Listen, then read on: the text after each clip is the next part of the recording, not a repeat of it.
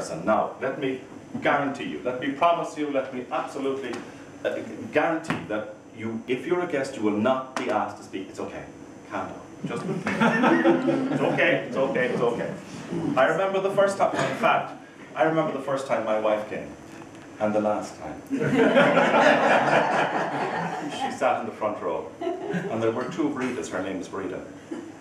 And Breda, the first Breda, was um, an, well, she was in her later years. And she was given a topic. So the topic was, and Breda. But Breda took a while to get out of the chair. so my Breda thought it was her. it was way if it could She couldn't even speak. It's okay, you will not be asked to speak, okay? Now then, followed by that, we will have three uh, speeches, three prepared speeches. And I'll tell you about that beforehand. Then we'll have a break, and then we'll have the evaluations. Now, if you look at this, if you have seen the agenda, you will see evaluations.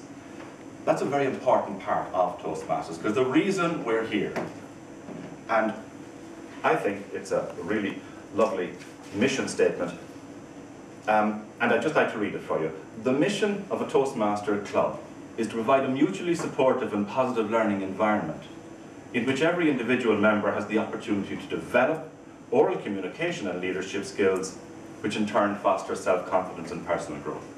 Now, that's not about, we're not back to school, but the thing about it is, is that we're here in an environment where everybody wants to learn, and the only way to learn is to get some feedback, to get some evaluation.